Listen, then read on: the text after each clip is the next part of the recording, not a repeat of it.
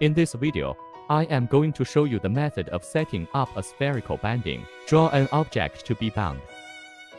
For example, let's draw some text.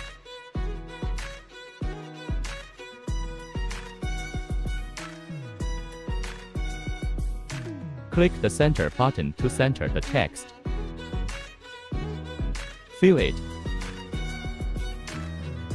Filling is to facilitate viewing the effect after binding. Choose a fill one, click Enable, and then Apply. The text has been filled. What's next? Enter the three-dimensional interface to do some settings. We can see that the text is still not bound. It is still a flat image. In the basic shapes, under the z-axis banding category, we choose the sphere. Set these two parameters. Let's take a look at the example in the instructions. There is a simple explanation of how to set these two parameters. The diameter refers to the maximum diameter of the sphere. So we fill in the diameter of the sphere here.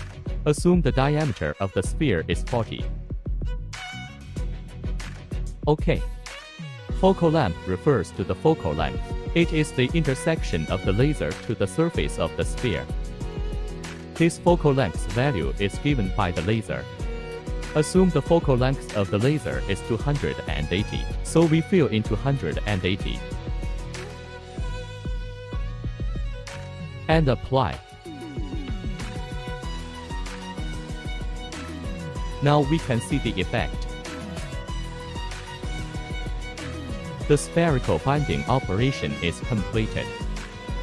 Now, let me show you. The difference between binding on a convex and a concave surface, we have found a